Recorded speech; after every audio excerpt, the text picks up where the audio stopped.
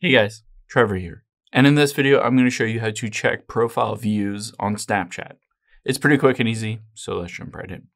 Now let's open up the Snapchat app here, and I'm going to tap on my profile at the top left. You have two different options here. One is that you can add to your public story. So just tap add my story to public and you can take a photo or just use one basically from before and post it publicly. Now that it's posted publicly, I can always go in there and see exactly who's viewed that story, and they might have been a subset of people that have viewed my specific profile. Now there's another option as well. You can see towards middle way down is my public profile. I can tap on it and then tap on insights here.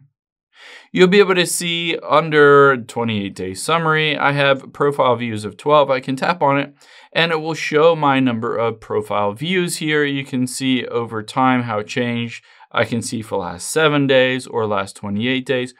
Unfortunately, on here, it doesn't show you the exact people that have viewed your profile. It just gives you insights or analytics in the total number of profile views. Again, keep in mind, Snapchat is designed to be a privacy forward app, keeping all of your information private, everything disappearing pretty quickly, 24 hours. And basically, they don't want to just openly share who you are viewing basically who profiles you're viewing, who you're messaging, all of that stuff. So they tend to keep all of this information pretty secret.